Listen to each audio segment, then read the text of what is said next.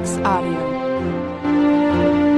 You cannot be living anyhow and you believe that one day you will die and then all the bishops in the earth will gather and then conduct a mass for you, do sacrifice for you, pray you into the kingdom of God. That is a philosophy from the pit of hell. How you live here on earth will tell you where you will end in eternity.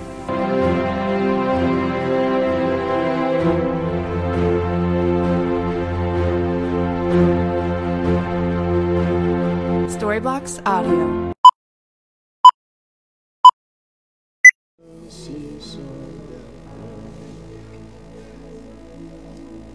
My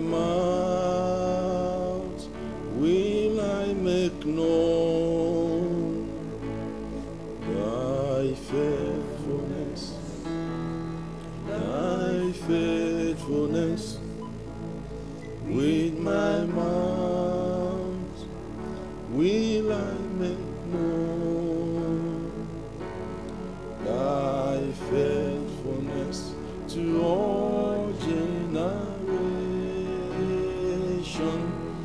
I will sing all the mercies of the Lord forever. I will sing all the mercies of the Lord. I will sing all the mercies of the Lord forever.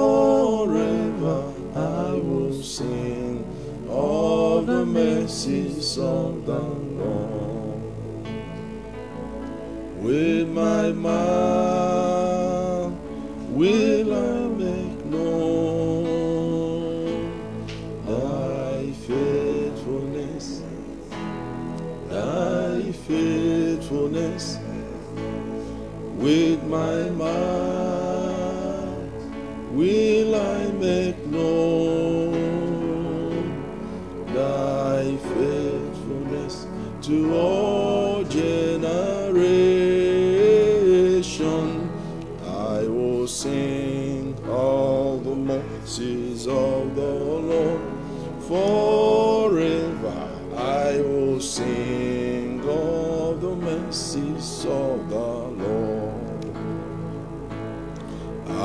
I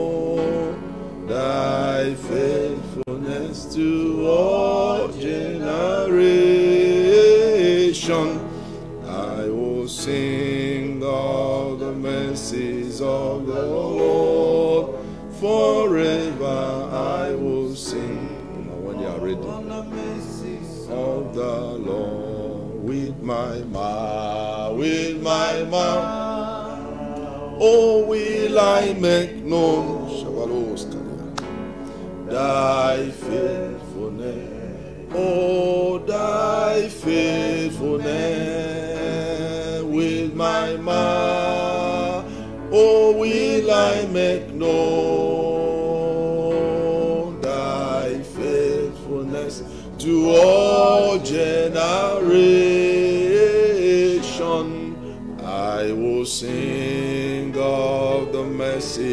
of the Lord forever. I will sing of the mercies of the Lord. Give God praise this morning. Worship the Lord for his goodness upon our lives. Worship him for the life he has given to us. Worship him for another beautiful day he has made, that we should be glad and rejoice in it. Blessed be your holy and mighty God. We give you praise and honor. take absolute control today. I take authority over powers, principalities, rulers of the darkness of this world. In the name of Jesus of Nazareth, I bind them, I render them impotent, and I command them to give way that the word of God might prevail right now over the lives of people and over cities of the world. In the name of Jesus Christ. Papa, have your way today. In Jesus' name we have prayed. Amen. I want to welcome every one of you on board again today. Such a wonderful and beautiful day the Lord has made that we should be glad and rejoice in it. I want to take your attention to something that we neglect. So simple, but very important if you must have two things here on earth. One, if your life must be prolonged here on earth, and two, if you must be blessed. You need to, there are two people in your life that you must honor. And that's why I'll be looking at be a blessing to your parents. Be a blessing to your parents. And I'll be reading the book of Genesis, chapter 25, verse 28. Genesis 25, 28. Genesis 25, 28. And Isaac loved Esau. The reason is very obvious. He said, Because he did eat of his venison. But Rebekah loved Jacob. Hmm. And Isaac loved Esau.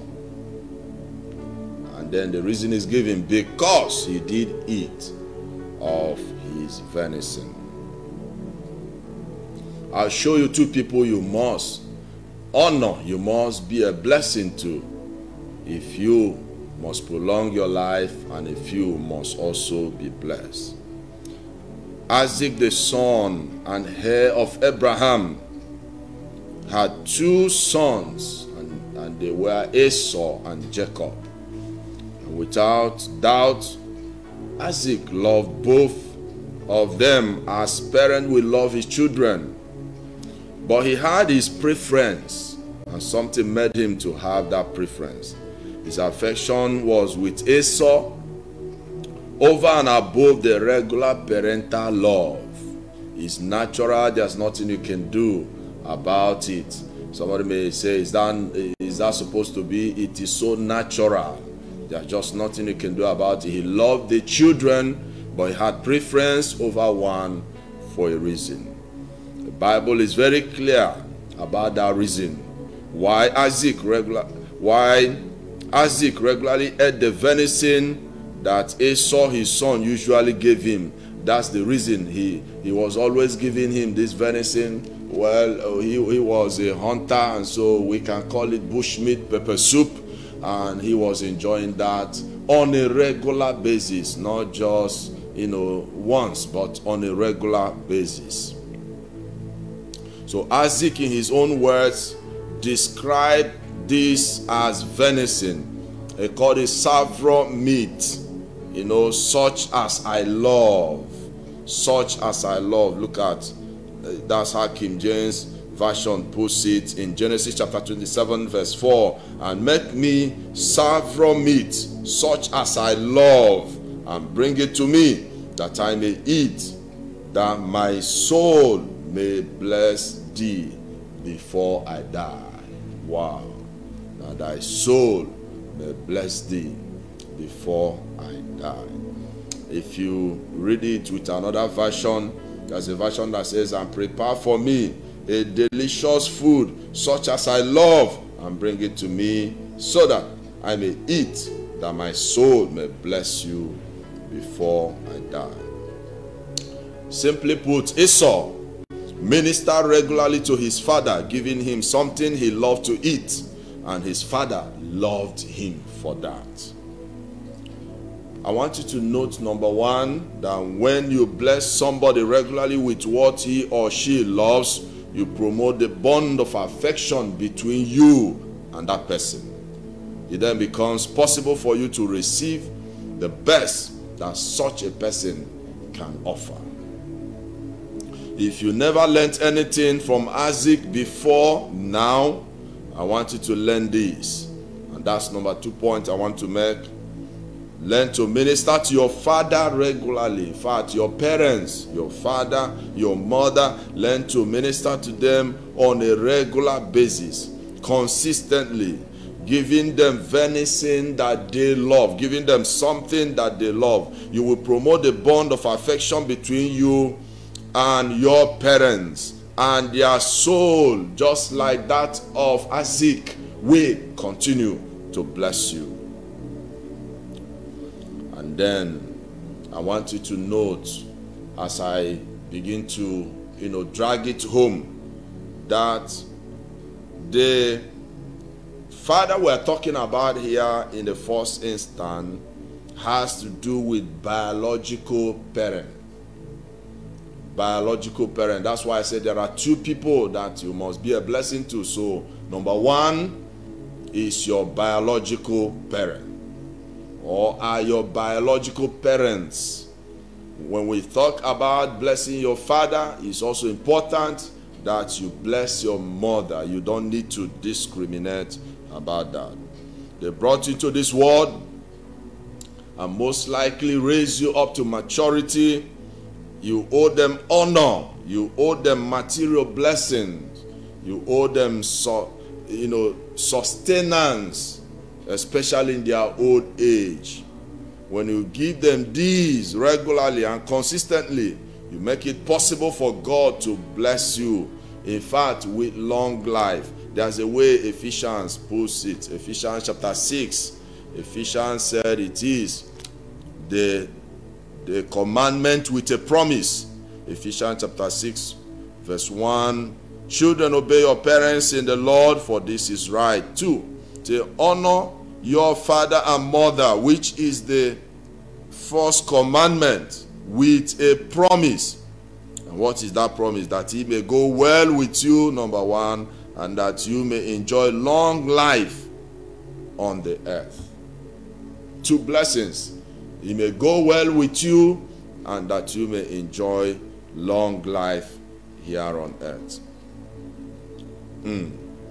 I want you to note Number three, that whatsoever you do for your parents is a seed that you are sowing. Your own children will rise up one day and do same to you. Listen carefully to me. My message is not long because I will soon conclude it. Whatsoever you do to your parents is simply a seed that you are sowing, which you are going to reap with time. Whatever you do to them, positive or negative, your children will rise up one day to do same to you. If you bless them, your own children will bless you tomorrow. If you honor them, your own children will honor you tomorrow. You take care of them in their old age, your own children will take care of you your old age tomorrow. You curse them, your own children will curse you. Dishonor them, your own children will dishonor you. You don't take care of them, wow, you have sown a seed of abandonment even in your own old age. I was told the story of a particular girl who was so wayward and uh, she so ruthlessly death with the parent, the mother to be precise, until the woman, because of what she was doing, had a stroke. And then she was hospitalized. This girl still came to the hospital there and provoked the woman. The woman nearly died, and so the woman became angry. The only thing she said is, calling her name, she answered, He said, Everything you have done to me, your children will do much more to you. And that was it. The woman died. And then today, that lady had about three, three, uh, three children. The first boy started smoking Igbo, if I was smoking Indian hemp, and then he ran mental, and his roaming about in the market. The second girl is a prostitute living in the hotel. The third girl, that one, that one is just, you know, that one is just roving everywhere, almost naked. So they, they have so much given this woman high blood pressure that she is alive, but to be dead is better for her. Because that was what she sowed, where the parents were. And today, she's reaping it. I want to ask you a question. When last did you give a call to your dad or your mom? When last did you visit them to know how they are faring? This period of lockdown, you know how difficult it's been. When last did you check on them to know how they are faring? When my dad was alive, in fact, from the day God started helping me to make him come, I took it as a responsibility. You know, some people do not know that these aged people go to hospital.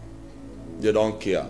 Some of them are even well to do. Some children well to do, doing very well for themselves, but they don't care about their parents. They don't know that they eat. They don't know that they are, you know, taken care of. They are taken to the hospital.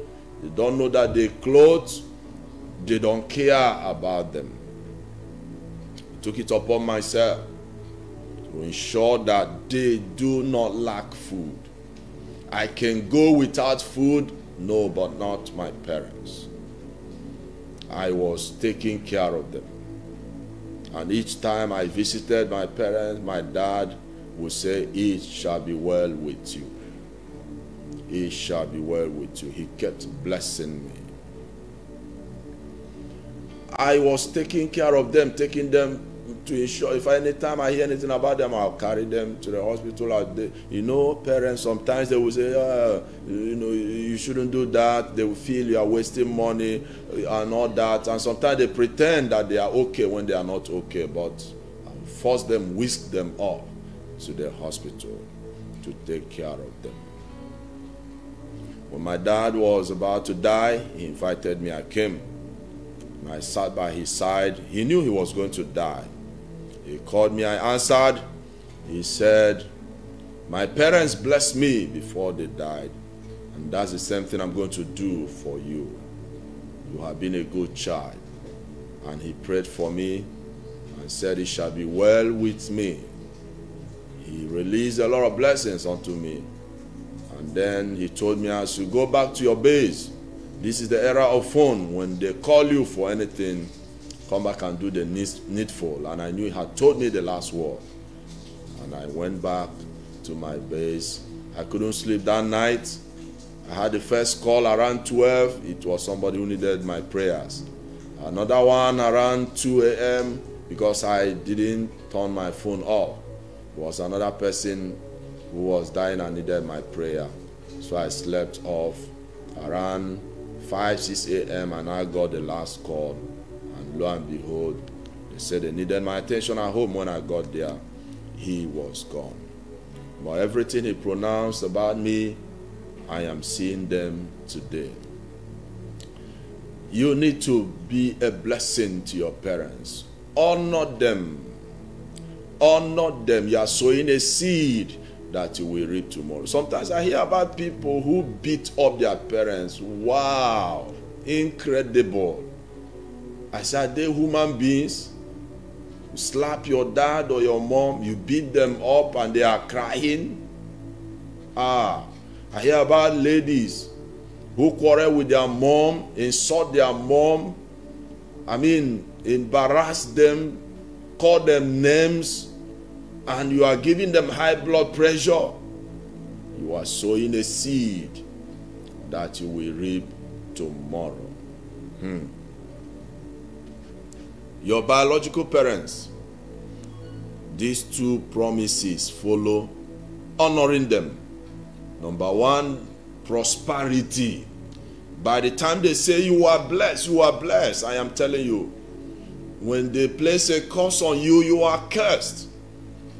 That he may go well with you. When I was a little boy growing up, we were living as tenants in a particular yard, and our landlord that time had sons, and uh, there was one that was a vagabond, and that was the first son. Then I heard the story that he was once in America, he traveled to America. Uh, he- but, but- before then, he had an issue with, he insulted his father. The father said to him, You will be a vagabond, it will not be well with you. He said, That's bullshit. You can't decide my destiny. I will become somebody like Piam. He traveled to America. He lived in America for several years and finally was deported with nothing.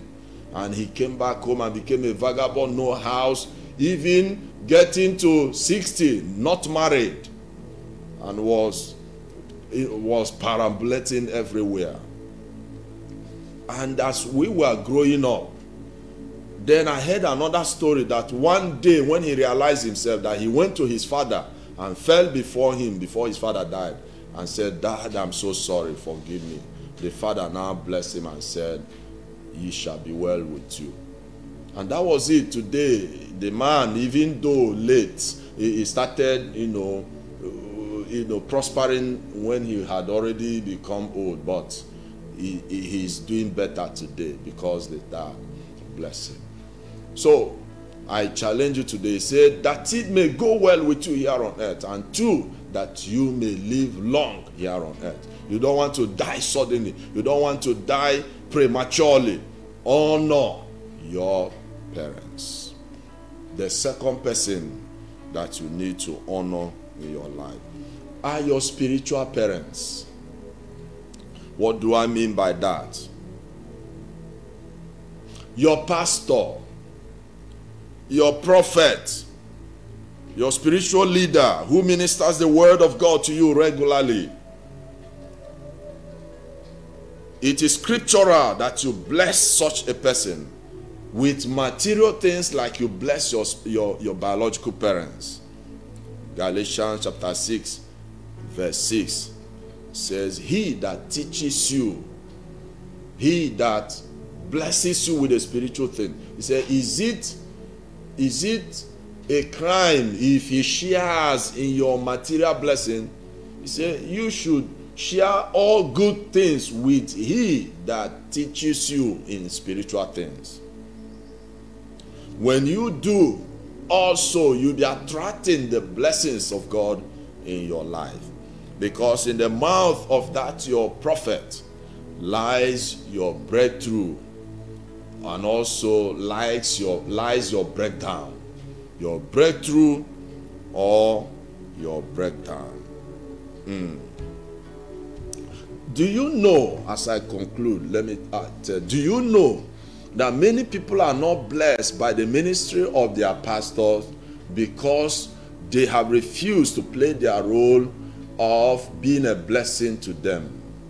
This life is all about principles, and God's principles are stronger than principalities. If you refuse principles, you are bargaining for wrinkles. Okay? The principle is what you sow is what you reap. You cannot reap where you did not sow. This is why a lot of people, their pastors are blessing people outside. People come from outside and receive miracles from their pastor, but they themselves go empty. Why? Because they don't honor their pastor.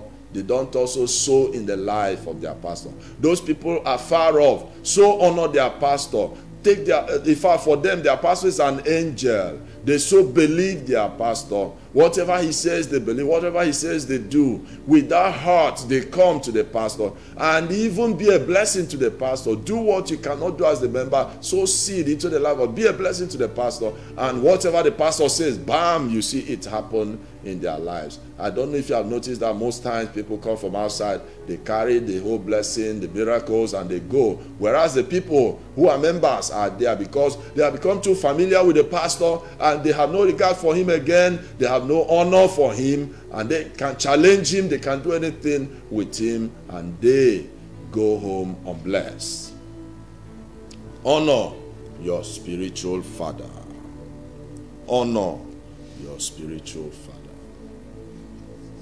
Do not come to a point where you think you have arrived and then you can begin to trifle with them or challenge them anyhow.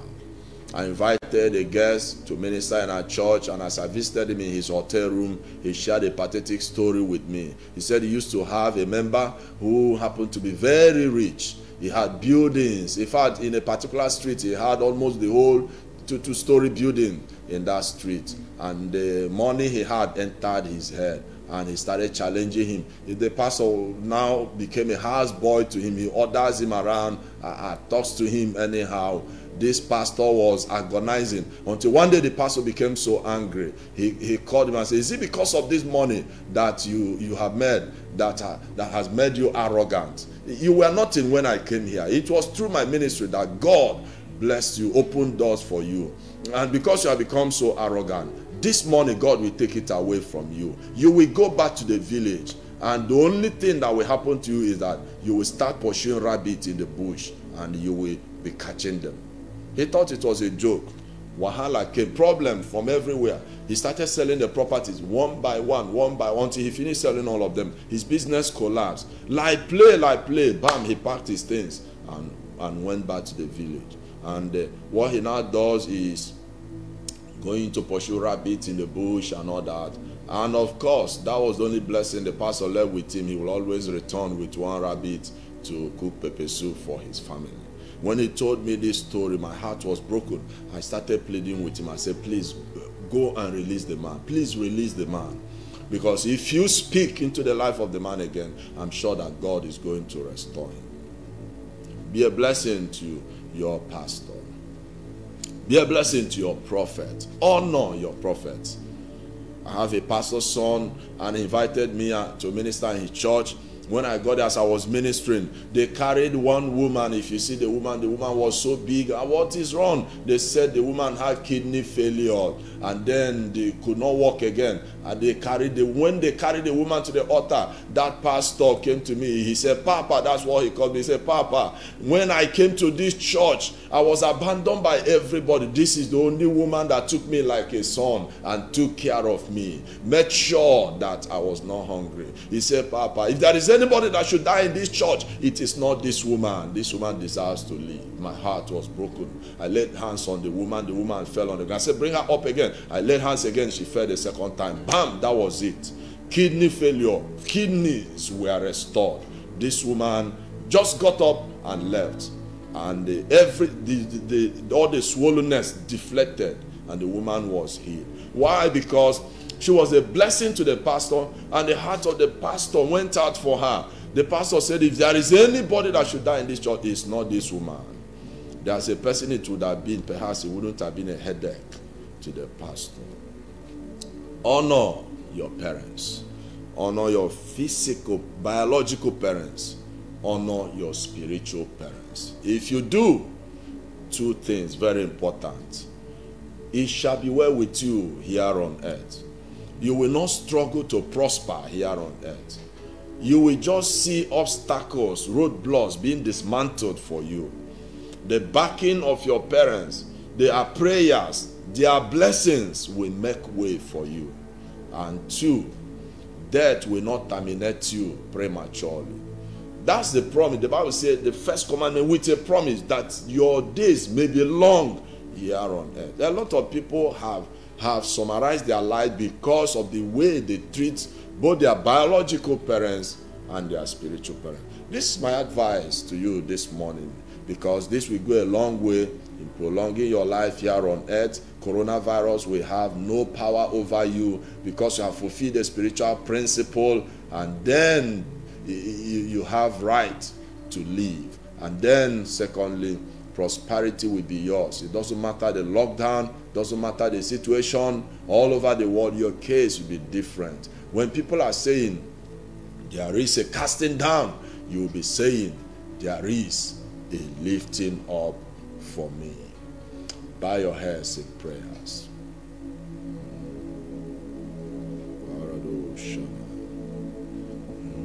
With my mouth will I make known thy faithfulness, thy faithfulness. With my mouth will I make known thy faithfulness to all generation.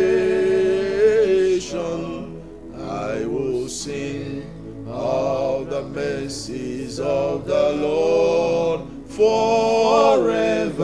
I will sing of the mercies of the Lord with my mouth, with my mouth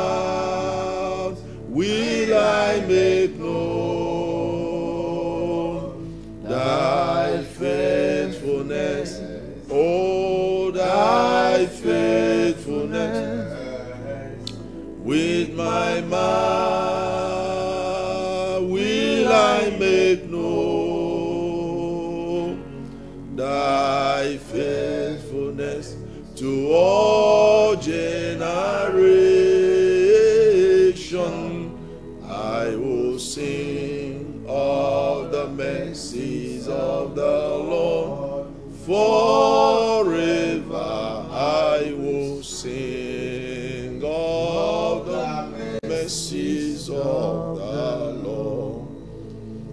Listening to Bishop David Oyedepo. He said, one of the reasons God blessed him is because he honored his parents and took proper care of them.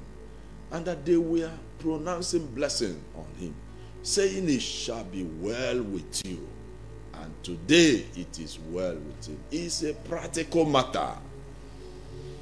I don't know. Wherever you are now, is there any way you have offended your parents or abandoned them, not taking care of them? May God forgive you and give you the grace to change from now. If you have dealt treacherously with them and now they are dead, may God forgive you. And whatever negative effect in your life, by the reason of the anointing of God upon my life, which is superior, I nullify every negative thing following you in the name of Jesus Christ. I release you from any curse in the name of Jesus Christ. Every retrogression, every every premature death waiting to happen, I terminate it today in the name of Jesus Christ. May God give you the grace to turn a new leaf today. Have you not done what you're supposed to do with your pastor, your your spiritual parents? In the name of Jesus, receive the grace right now to begin to do it. And as you do, may the oil of God upon his life, the grace of God that follows him, begin to manifest in your own life from today. In the name of Jesus Christ. If you have not given your life to Jesus, I'd like to pray for you. That's a starting point for you. That might even be the reason why you are behaving the way you are behaving. You can bow your heads in prayers and say, Lord Jesus, please forgive me, sinner. Come into my life today and be my Lord and Savior. In Jesus' name I pray. I denounce Satan. I denounce sin. In Jesus' name. Amen. Father, I pray it shall be unto them according to their confessions. Let their names be cancelled in the book of death and be transferred into the book of life. Give them the power to live for you from today. In Jesus' name. Amen. If you are sick, in the name of Jesus, I command healing to rest upon you now.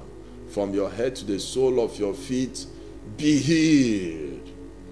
I say, be healed. As I'm talking to you now, get up and do what you cannot do before. The power of God is upon you now to set you free. Receive strength in that leg, receive strength in that hand, receive life in those eyes, in those ears. Receive life now in that part of the body that is paralyzed. Be healed in the name of Jesus. I command barrenness to be terminated right now. In the name of Jesus, Los Pankan, be thou terminated right now. May God surprise you by giving you children. I bless you today in the name of God the Father, and of the Son, and of the Holy Spirit. I decree that today shall be the best of your days. God shall be with your going out and your coming in. And everything you have pursued in life, you shall overtake. The miracle begins today. In the name of Jesus Christ. You shall not die, but you shall live and declare the goodness of the Lord. Father, I lift up Imo State. Imo State shall be secured from coronavirus. I lift up Nigeria. Please stop the death, stop the spread, and let coronavirus be extinguished out of Nigeria, out of Africa, out of the entire world. Bring healing to the world, bring restoration, bring restoration also to the economy of the world. Blessed be your holy name. In Jesus' name we have. Amen. All right, my friend, you want to give an offering, donation, or pay your tithe? The account details are right on your screen right now. Use it, and uh, we will appreciate that, and God will bless you. And for prayers and counseling, you want to talk with me personally, you can call the number which is plus two three four eight zero three four zero nine five one seven one plus two three four um, eight zero three four zero nine five one seven one. And then I want to remind you to be with me again this evening, 6 p.m. for Atmosphere of Possibilities. I'm going to continue the message on It's Not Over Yet, and you will sure be blessed. Tomorrow, Sunday, I shall have a one hour live service. One hour live service, 7 a.m. So tomorrow is not going to be 6 a.m., it's going to be 7 a.m., one hour live service. Uh, from the altar of the church, we shall worship and then deliver the message which you will be part of wherever you are. And then tomorrow evening, 6 p.m., tomorrow, 6 p.m., I shall have a phone in program when you will have opportunity. We open the lines you can call me for prayers, you know, prayer requests, and to share testimonies of what God has done in your life so far. That will be tomorrow, 6 p.m. So join us, and I'm sure your life will never remain the same again. I'm so glad coming your way today, and I hope you were blessed. My name is Reverend Bethel Nwanebu, Reverend B, saying, See you, and God bless you. Savior,